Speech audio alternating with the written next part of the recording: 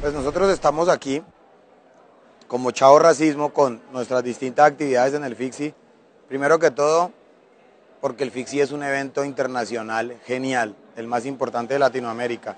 Y segundo, porque el FIXI ha venido siendo eficiente, ejemplo de lo que puede ser un evento a gran formato, de gran escala y con altísima inclusión.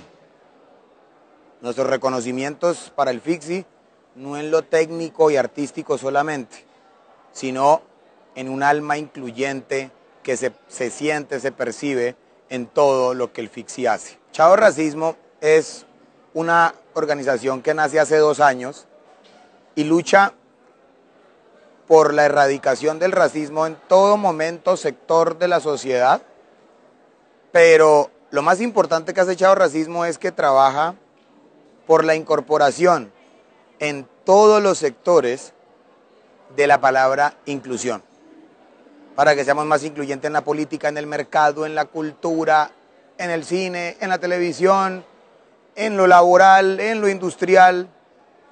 Así las cosas, hemos entendido que es mejor enseñar a ser incluyente que enseñar a no ser racista, que enseñar a no ser machista, que enseñar a no ser homofóbico.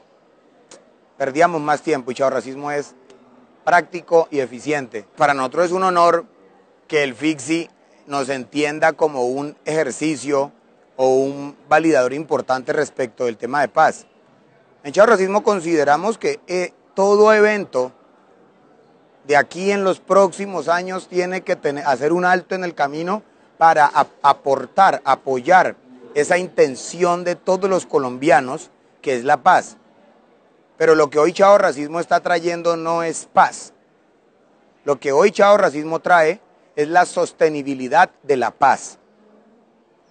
Se comete el error, sin intención, de tener a la paz como gran objetivo. No, la paz es un medio para lograr el gran objetivo, cuál es la sostenibilidad de la paz. Esto es la inclusión. Lo otro que también agradecemos infinitamente al FIXI es cosas como haber colocado a Karen Inestrosa como imagen de este FIXI 54 en un país donde las negras no les viene la menstruación. Y lo digo porque tú no has visto ninguna publicidad de toallas higiénicas con mujeres. En este país de publicidad precaria, donde todavía estamos manejando el concepto de hace 30 años de mercadeo aspiracional, cuando el mundo desarrollado está en inclusive marketing o mercadeo incluyente y es hablarle a todos los individuos a partir de su diversidad. Es muy importante lo que hace el Fixi al poner a Karen Inestrosa, una diosa negra como ella, como figura representativa y de bienestar del más importante y antiguo festival de cine de Latinoamérica.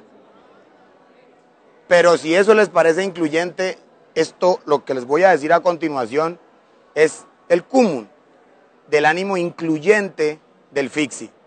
El FIXI ha permitido que llevemos por primera vez este Festival de Cine de Cartagena al primer pueblo libre de América desde Alaska hasta la Patagonia, Palenque aquel pueblo que fundó Bencos Biojó, el primer esclavo que se libera y libera a otros negros del yugo español. Fundan Palenque y hoy el FIXI con Chavo Racismo y la Fundación Aqua, Activos Culturales Afro, llevan el FIXI a Palenque a proyectar una película que es una evidencia del, del racismo y la exclusión que hemos tenido. Esa película se llama la quemada. ¿Conoces la película? Es la primera película coprotagonizada por un colombiano. La primera película de gran formato en la cual participó un colombiano. el primerísimo actor Marlon Brando. Una producción italiana. Y se pasó de agache. Nunca nos dijeron el primer gran actor de Colombia, el primero que pudo coprotagonizar con Marlon Brando fue un señor colombiano, negro y palenquero, Evaristo Márquez. quien el año pasado murió, y este año Salvo Basile, Chao Racismo, el FIXI y la Fundación Aqua hacen posible hacer ese homenaje en Palenque, al cual están todos cordialmente invitados, al primer pueblo libre de América.